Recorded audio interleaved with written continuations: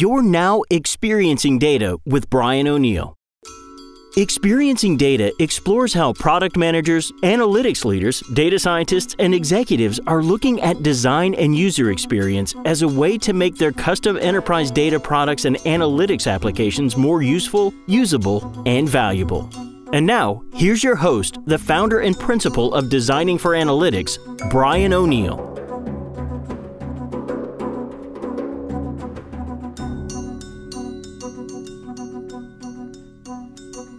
Dr. Bob Hayes is a data scientist, blogger, and recently named Top 50 Digital Influencer for 2019, who I discovered while researching the types of non technical challenges that data scientists face. Bob wrote a great blog post summarizing the findings of this uh, survey by Kaggle, and I wanted him to come on the show to specifically discuss three of the non technical challenges that the survey uncovered. These three challenges are similar to the types of problems that the field of service design and product management often address. And on this episode, we explore some of these parallels from Bob's perspective. So, if you work in data science or analytics, or you're a product manager working with data scientists, I think you'll find today's episode exploring these challenges interesting.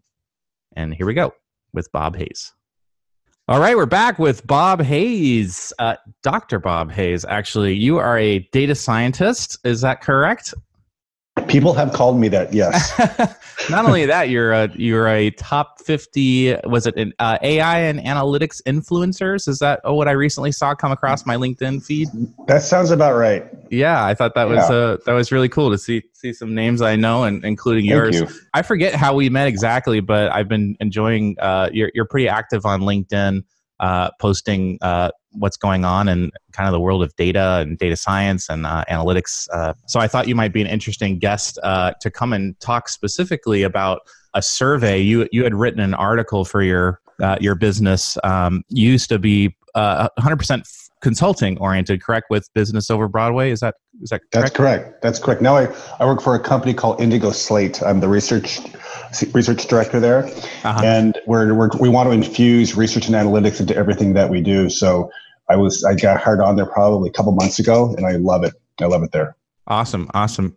Well, uh, previously, I think this was about a year ago. You had written an article summarizing some of the findings that were in a, a Kaggle survey of uh, challenges for data scientists, and in particular, uh, I wanted to to talk to you a little bit about some of the non-technical ones there because a, a lot of these remind me of uh, activities that um, product and service designers uh, are it's it's similar challenges that usually result from at least in my experience a, a lack of of getting cross team collaboration getting the right, right, stakeholders involved understanding goals and metrics. So uh, so today that's that's what we wanted to uh, get your expertise and your thoughts on were some of those findings. So can you talk first maybe give a little bit of background on just yourself and, and then we can go into some of those findings but what kinds of work are you doing today and, and what are eh, what are your current what's your current opinion on what the non-technical challenges are uh, in doing effective data science and analytics today Okay, sure. Uh, my background I have a PhD in industrial organizational psychology, and that's simply psychology applied to the world of work. Um, and my consulting research has revolved around uh, the areas of customer experience management, customer loyalty measurement, and just the practice of data science. I want to I want to understand you know how teams can be more effective in, in applying the principles of data science in their jobs. So my research kind of revolves around those those key areas. I've always loved data. I took my first stats course in college uh, over 30 years ago, and I was hooked immediately. And I, I love data. sometimes I introduce myself as a data holic. so I love it. That's a new one. yeah. So, so, so Kaggle does an annual study. I think they this is their third year coming up this year, and they survey a bunch of data pros from around the world on various topics around data science, what data they use, the challenges they face, the skills they have, and so forth. And the blog you're referring to, they had a list of you know the, what are the top challenges of, of uh, applying data science and work there are a lot of things that surface, and I'm not surprised because you, you, find this in other kinds of, of work as well. A, a lot of the challenges revolve around non technical things like just working together, having the right skill sets, and so forth. So, So it's it's it seems to, it, I, have found the same kind of or similar results in my research on best practices and customer experience management programs. So the, you got pretty much the same roadblocks. You, you know the, the results aren't applied to to uh, business decision making. Uh, teams don't work uh, together effectively. So you have these common themes that kind of uh, cover just the, the, the, culture, the, the social aspect of the workplace. And those seem to have a big impact on whether or not uh, a team can be successful or not. It's not just about skills or the technology. It's about, you know, how, how, the, how the, the people work together. Yeah. So let's, let me summarize what these kind of three topics were and then, and maybe mm-hmm. we can pick them apart separately. So sure. the, the, the three findings that I, I found were pretty interesting there were, uh, um, number one was um, lack of a, que- a clear question to be answering or a clear direction to go in with the available data. The second right. one was data science results were not used by the business decision makers. Uh, and the third one was uh, an inability to integrate findings into the organization's decision making processes. So right. um, maybe if we go in order, can you t- can you speak a little bit to maybe your experiences and, and what you think might be going on with uh, with the first of these? So that was the lack of a clear question to be answering or a clear direction to yeah. go in. I'm a big fan of just kind of analyzing data, you know, just getting my, my hands on data, just exploring it. But that can lead you down a, a path of no return where you're just analyzing data just to analyze it. So what I try to tell my clients is that when you approach a data set, have a problem that you're trying to solve you know and and that, that that roadblock or that challenge i think it stems from the fact that a lot of data science teams don't have a subject matter expert on the team to you know to kind of pose the pose the right the right questions. So for example if you're if you're trying to study you know, the uh, cancer treatments you should have an oncologist on your team because that oncologist knows all the variables at play knows about treatment options and so forth and if you don't, you're going to miss out on opportunities of asking questions that you even don't even know to ask. Okay, so the, first of all, have have somebody on the team who has good content domain knowledge. If you're if you want to talk about improving the marketing process, have a marketer on your team. If you're talking about improving uh, call support, then have a support person on your team. So I think the, the key there is to have the right people on the team to ask the right questions. And, and not only that, it's good to have, it's good to be precise with your language. So in, in my work, you know, we, I try to in, improve customer loyalty for my clients. Right. So you can say like, oh, the, one of the problems could be like, oh, I want to increase loyalty because I want to have my business grow. Now, now a lot of people equate customer loyalty with just recommendation behavior, like how likely are you to recommend this company to your family and friends. But there are other kinds of loyalty metrics out there. And if you just stick with one, the recommend question or the recommend uh, component of loyalty, then you're missing out on, on trying to trying to retain your customers or trying to upsell and cross sell uh, other products to them right? So, so to be precise, we talk about customer loyalty. It's not customer loyalty you're trying to mo- optimize. It's either you're trying to optimize uh, retention rates, you're trying to optimize how many new customers you get, or you're trying to optimize how many products or or services you can upsell and cross sell to your existing customers. So be precise with your measurement and your outcomes. And I think that'll go a long way in helping you, you know, ask the right questions and be precise about about the things you're trying to optimize in your in your modeling it, it was interesting to me that this was the fourth I think this was the fourth uh, biggest challenge that was cited, with 22% of respondents saying this was was an issue. So it it suggested to me that respondents actually proceeded with these projects or these data science efforts despite not having this question uh, stated or a problem to work on. So, do you think this is an equal problem between the the data team, the data the data scientist is is the the top of that team, I'm not sure how they're all structured, not having the soft skills to help the non data stakeholders surface their true objectives? Or is it more of that you feel like the business doesn't know how to pose questions and they're they're asking for like right. AI and, and data science solutions without really having any type of problem? Like where's that responsibility do you think it's a training issue for like non-technical skills that the data team needs to have or is it more the business needs to work on being able to ask better questions with some understanding of how it might tie back to actionable data like where does it, where does that fall right right well i, well, think that I don't want to blame any one particular job role or anything like that. I think it's again, it's working together. So, in, I did a study a few years ago on on the data science skills needed to be successful in, in your work, right? And I found that data science skills fall into three broad buckets that we've always talked about. You know, you got the the the, the uh, subject matter expert skills, whether it be business, whatever you kind of study. The second set of skills are around math and stats. So how do you analyze data?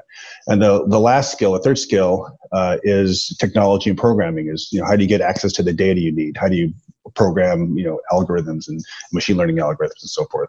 So if you understand like that, there's three skill sets, and and typically people fall into one of those buckets. You're either an expert in in, in, the content domain or stats math or technology programming. It's, it's hard to find somebody who's skilled at everything.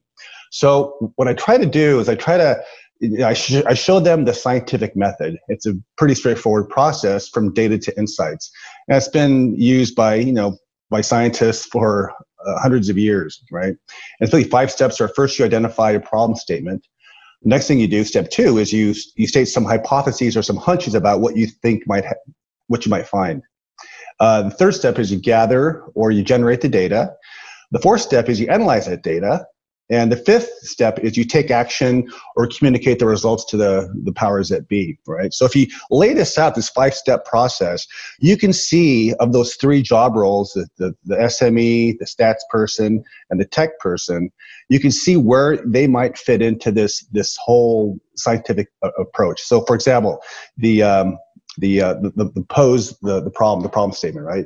You need somebody who knows what they're talking about so you need the subject matter expert that's where the person comes in and here's my problem here's what i want to do.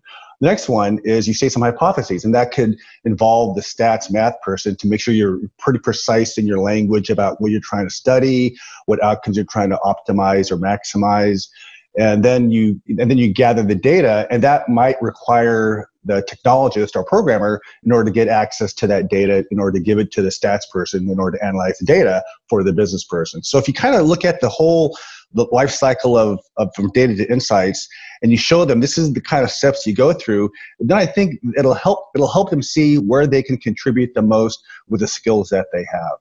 And i think that's a good a good first step is to know where your limits are and what other kinds of, of team members you're going to have to have on your team in order to be successful in applying analytics to, uh, to solve a particular problem. You're listening to Experiencing Data, the podcast that explores how design and user experience make enterprise data products and analytics applications more useful, usable, and valuable. Your host is Brian O'Neill of Designing for Analytics, designer, UX consultant, and advisor to the business leaders behind custom enterprise data products and analytics applications. For more information, visit designingforanalytics.com. If you're enjoying the show, help Brian out by rating it on iTunes. And now, back to Brian. Are there particular um, activities or tactics or things that that these data teams should be doing to get better involvement from their subject matter expert uh, colleagues, for example, or the other departments? Do you think do you think there's a a gap there or something in terms of how how they're supposed to integrate and work with those people, or is like it seems it seems interesting to me that the survey stated this as a challenge from the perspective of the data scientist, which which I, again, and this isn't about blaming anybody, right? But it's kind of like, are they right. stating it as a challenge because they think it's someone else's responsibility, or because they're having trouble getting those team members to participate, or they don't know how to participate, like they don't know how to be useful to the data team? Do you have any feelings on that? I know there's several questions there, kind of. Yeah, that's yeah, that's a that's that's a loaded question. So so I, I think well, first of all, I think I, in the study I looked at, I found that even even business people who have really good quant skills are, are happier with the outcome of their data science projects compared to business people who lack those quant skills. So I think a, a good first step would be to kind of kind of get a good baseline about who knows what about about data and analytics and it's always i tell this to everybody i meet take an intro class to statistics or just uh, just a, a, basic stats course uh, just to give you an idea about you know how data can be used the kinds of things you you can do with it. You can predict stuff. You can you know you can look at historical uh, data, things like that. And if you give give people that kind of that base knowledge, I think it'll help them understand the value of data, and they may want to be more involved with with these kinds of data projects. At least at least they'll have some sort of common language with the stats person who wants to convey maybe a complex idea to them. So so I, I, rec- I recommend to everybody take a, just a basic stats course, just so you know the kind of kind of the language of data and analytics. So moving on to the second one, and and I, it's kind of interesting to think about whether or not the the first challenge fed into the second one, and this was data science results were not used by the decision makers, and it makes you wonder. Well, if you didn't have a good problem to solve, maybe that's maybe that's why they didn't get that, used yes, in the first exactly. place. But can you give? Yeah, had you have you experienced or or kind of overheard examples of this happening, and do do you know why they happened? Yeah, yeah, I've I've run into this in my own uh, consulting career. Uh, I've had one example, or maybe a handful of examples, where you know you, you have a, a question that they pose. It's pretty clear.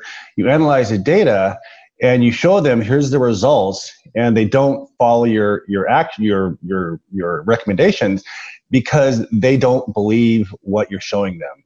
And I think that's due to confirmation bias, where that's just you know the the the tendency to seek out information that supports your prior beliefs. So if they already go into a study with a belief system and you show them something that, that counteracts their beliefs, they're less apt to, to follow that advice than if it supports their current beliefs.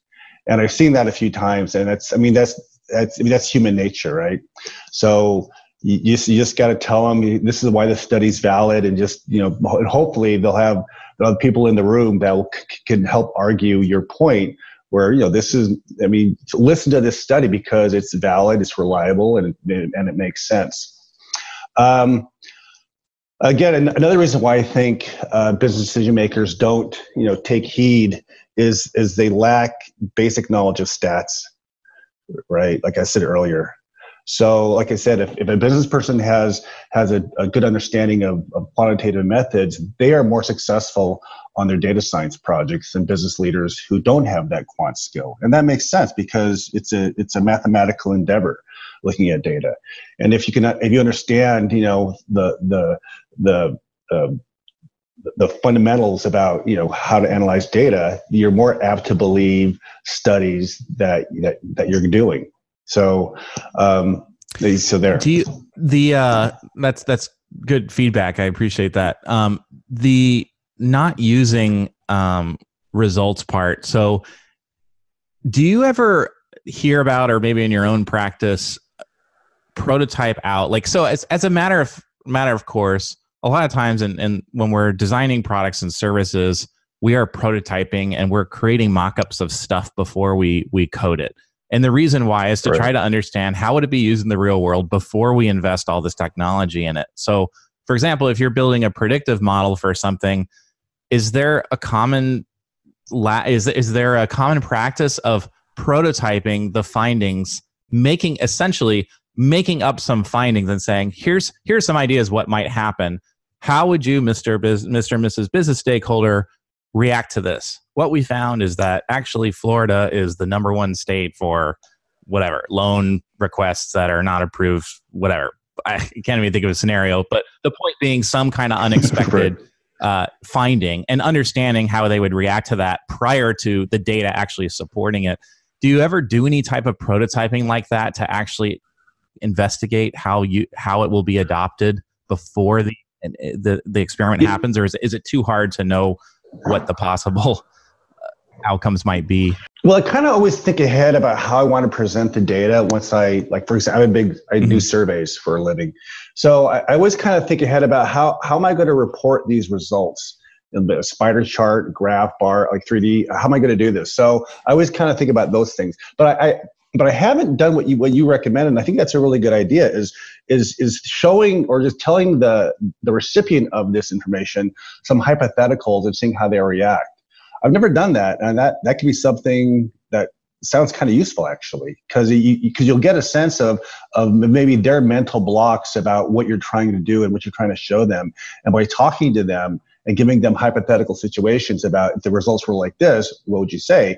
I think that could go a long way in helping you design a better study, or at least at least present the results in a way that are more effective that kind of resonate with them and their and their and their mindset. Yeah, I'm gonna try that next time. well, cool. Let me know how it how it goes. Um, yeah, it, it seemed seemed interesting to me that that I hadn't heard about this before because it's you know what one of the kind of the in the in the world of usability testing which is stuff you do on the back end of a design to figure out that's the actual process of testing the design to see if it was usable and it accomplished the goals that you set out for. And one of the as you were talking about the believability part one of the common questions you get is well well how many people did you ask? Well actually yeah, four out of five people couldn't actually finish the checkout process. That's how bad it was. Well you only talked to five people. So how many do we need to talk to? And the, the answer that you sometimes hear recommended for designers is how many would it take for you to believe the data it's not, and you forget about p values and like right. statistical you know significance and all right. this and you focus on what that per that stakeholder actually needs to believe and you can tell them like statistically or from our practice we don't need to keep hearing the same thing over and over four out of five is enough and plus our experience says we have a problem with this and it we can exactly. make a change now we can keep testing it so you tell us how much you need to believe it. So I wonder if the same thing could happen.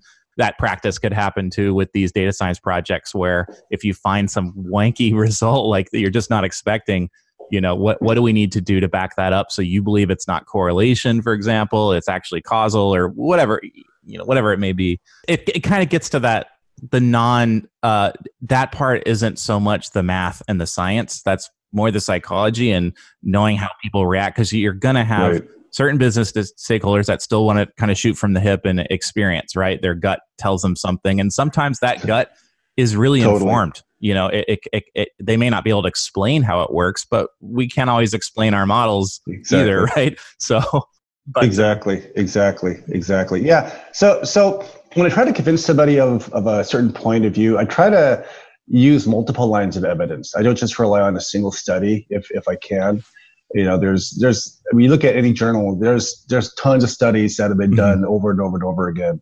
And if they find the same results then that's pretty good evidence to me that okay this is a reliable result. Um, so that's I, try, I kind of take that approach. It's not just show them a single study but here's a handful of studies that show the same thing. Yep yep yep.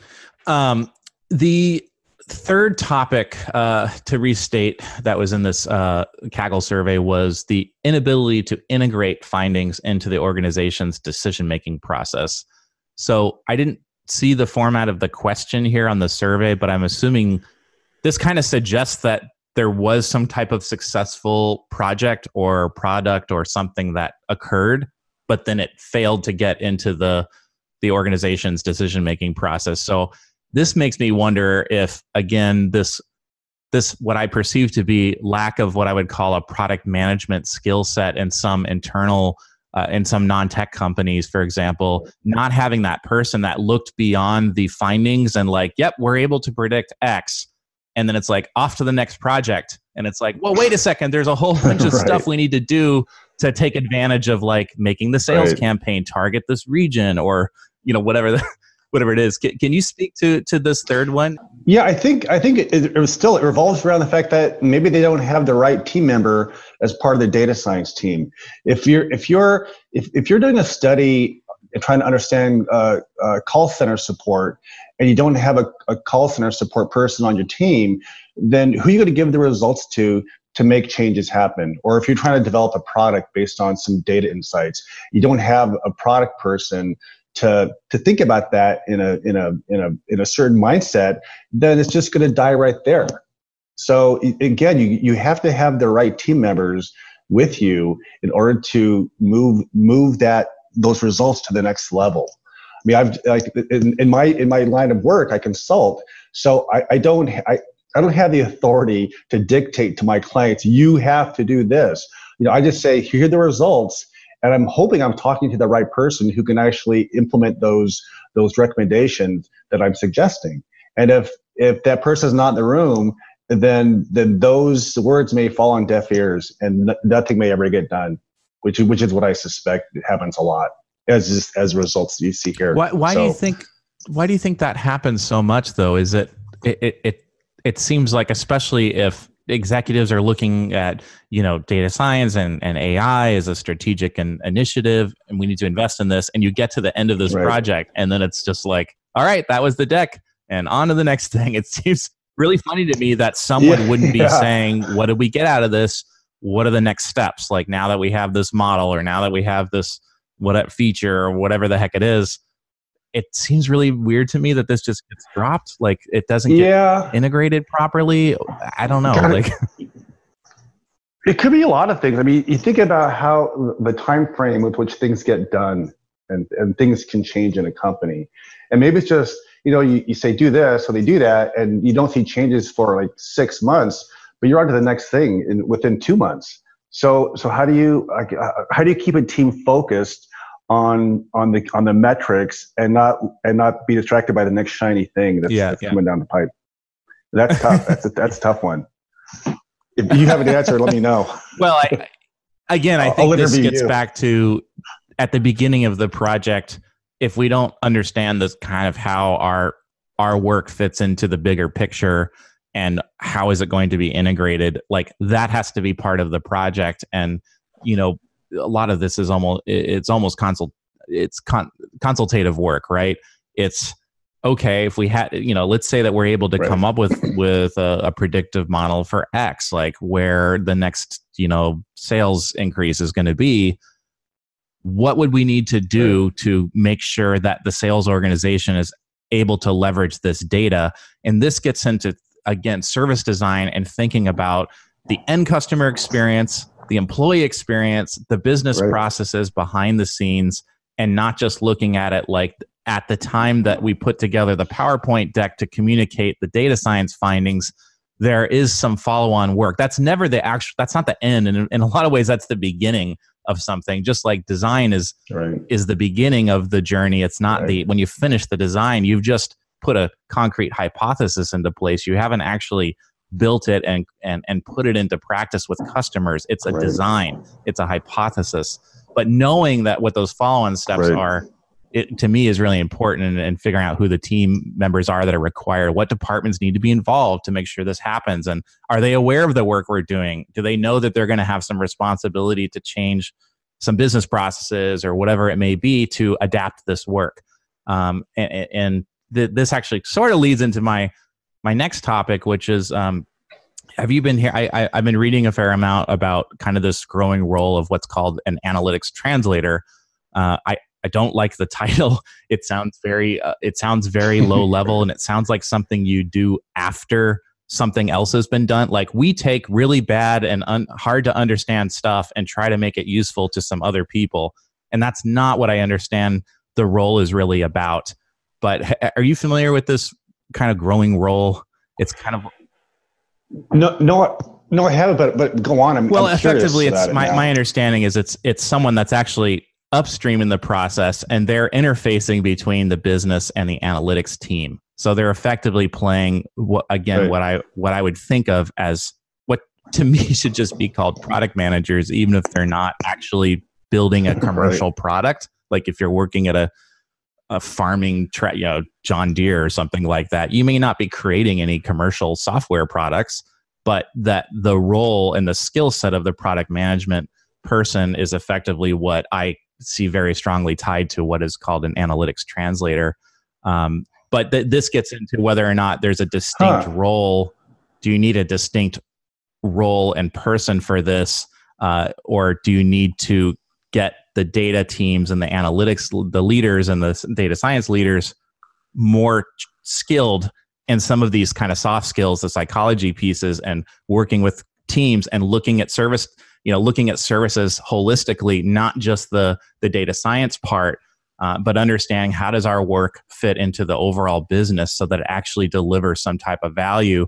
You know, right. I I don't know if that's do, do, I'm sure in some places you do need a dedicated yeah. body for it, and other places you can stay lean uh, and and and just improve the quality of the work that the existing team is doing. Right. The whole the whole notion of, of an analytics translator to me sounds like it's it's somebody, and it could be a product manager. It sounds to me like it's somebody who who's trying to translate these quantitative results into some like like easy to yeah. understand words mm-hmm. for the rest of the team.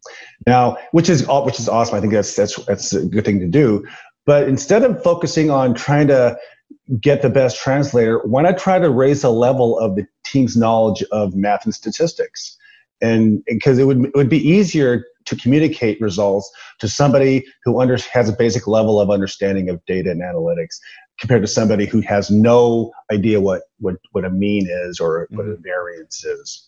So so I and I and I, and I agree with you that you need to increase this, maybe the soft skills, communication skills of the of the data experts, but also on the same token, increase the the the, the tech skills or the math skills of business people so, so, we're, so we're all playing on, on the same level playing field where we can talk and we, and we don't need an analytics translator because when I talk to you, you understand me and vice versa.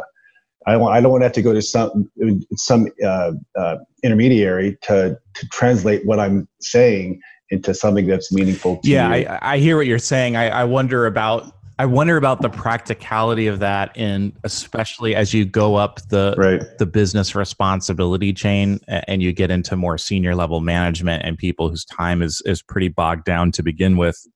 How much it is that that the skill of the translate if it if you want to call it translation fine to to me it feels like can we can we also help the data and analytics people to provide better visualization, better storytelling, better communication of the information totally. in a way that their stakeholders can understand it whatever their particular and you may have different audiences right? Like one audience may totally. want to see let me see your data. Let me see your findings. Another person really want give me the conclusion.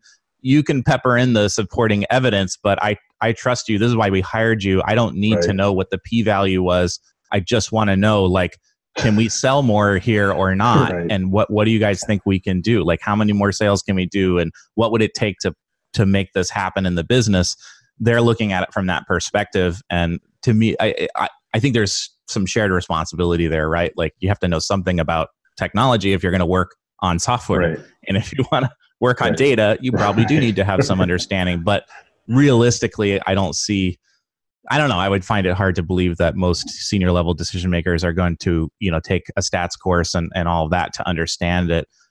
Could be wrong. Uh, could be wrong. I don't know. Yeah, well, uh, well, in in the in my new company I'm working with now, my goal is to educate everybody mm-hmm. on just basic stats. Some where you have these things yeah. called lunch and learns, and you can present you know, I mean, a topic. So my goal this year is to do like two classes per quarter on just basic stats. It, nothing sophisticated. You know, t- you know, throw some charts up there, frequencies, correlations, t-tests, just basic stuff, so they can start seeing the value of data and what it is. In fact, going forward in our company, where we have to include key performance indicators in all of our projects. And, and if we don't have any, the project just stops until we get mm-hmm. a, a KPI instilled. We can get that from the client. We can make some for ourselves to make sure we're, we're on we're on task and on track of, of being successful for a client. So, so maybe that's just a matter of just just being in the field for for many many years. You just you just know more stuff, and maybe that's just if you if you're a senior senior level executive who's been around the block, you know, 30 years maybe you just know more and they're easier to talk to because they maybe they get numbers because they they deal with numbers on a daily basis with you mm-hmm. know finances and so forth. Got it. The uh on, on, by the way on the you, you reminded me when you're talking about the the training work that you're doing. I don't know if you're familiar with um this website called seeing theory on, on the it's on the brown university. It's it's seeing dash theory.brown.edu and it's a visual introduction to probability and statistics. Uh, and it's I visit it every now because I my background is not in in math or data science uh, or statistics. So, uh, but it, it's a really fun, uh, well designed website that has lots of visuals uh, to go along with uh, different statistic terms and and how they work. Um, so I, I, could put I'll put a link to the show notes in it. But if you're doing that kind of work, you might you might check that out. It's uh it's really well designed. Cool. I will. Um, at least last time I looked at it, it was it was. And there's also a course that's being taught at the University of Washington by two professors. It's called Calling Bullshit, and it's it teaches us. It's great. It, it, they, and all the classes are online. You can you can watch them on YouTube, and uh, it's excellent. It's and they teach kids or students how to think critically about information they're oh. given. Uh, it's wonderful. It's called calling bullshit. It's a it's a, a, class offered at the University of Washington. Got it. Bob, do you have any other uh, like closing advice or anything for um, for data scientists or people working with them that are trying to create data products and and better analytics tools? Uh, we've talked a lot about maybe getting uh, some some training uh, on statistics in order to better understand kind of the world of, of data scientists. Yeah. But any other like general things about how, how we can help? Yeah. Yeah, I, I got some advice for some either you're an aspiring data scientist or just data scientist general is that you can't know everything, right? So focus on improving skills that are part of your your core strengths. So, uh, and I and I found before, data science skills kind of t- tend to occur together. If you're a quant person, you know a lot about quantitative methods. So maybe you should dive deep into that and become an expert in whatever you want to become an expert in in that that field. If you're into programming and technology, focus on that. And if you're a subject matter expert, dive deep into learning about that field right? So so just know your lane and just become an expert at that. And the, the more you know the more successful you'll be at your projects. And also make sure you work with other people who complement your skills. Again you, you don't know everything and you can't know everything.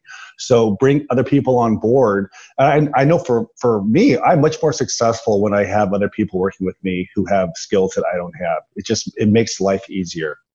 Now and if, if you're an executive uh, you need to understand that data science is a team sport. So you'll never just hire a single data scientist and say, "Oh, I got my data scientists. We're all set to go." You need a team of people with with uh, with a diverse skill set that work together effectively. So just keep that in mind if you're an executive trying to you know instill data science in your company. You need to hire a, a team of people instead just one. Yeah, I think that's really great advice. It's so similar to doing effective uh, product design uh, work as well. You can't you can't really throw something over the wall to a designer and expect them to understand what the right. problems are and how we're going to measure this stuff. What what what does a successful task completion look like uh, in an application? Why did people come to the site? You know that the, the software, all that stuff. It, it inquire it requires cross cultural or cross departmental uh, skill sets and and and having the right stakeholders in the room and all that kind of stuff. So I, I find a lot of parallels uh, with you uh, on that. So. So cool, man. Well, this has been a great conversation. Um, where can people uh, find you? What's the best? Or is LinkedIn the best? I, am going to put your LinkedIn uh, in the show links. LinkedIn, uh, Twitter. You call me Twitter, Bob, Bob e. Hayes. Hayes. Okay. Uh, and my my personal site is Business Over Broadway, and I'm a, now I'm a senior research uh, director at IndigoSlate.com. So you can find me at any of those places. Got it. Awesome. Well, I will uh, definitely put those links uh, in the show notes. And uh, man, this has been a really fun conversation to, to have with you about this. Right. Today. I appreciate yeah, yeah. it. Well, yes, keep me posted awesome. on things, especially if you do some prototyping. I'd love to hear how that goes, and uh, we'll stay in touch. Right. We hope you enjoyed this episode of Experiencing Data with Brian O'Neill. If you did enjoy it, please consider sharing it with the hashtag Experiencing Data. To get future podcast updates or to subscribe to Brian's mailing list, where he shares his insights on designing valuable enterprise data products and applications, visit designingforanalytics.com slash podcast.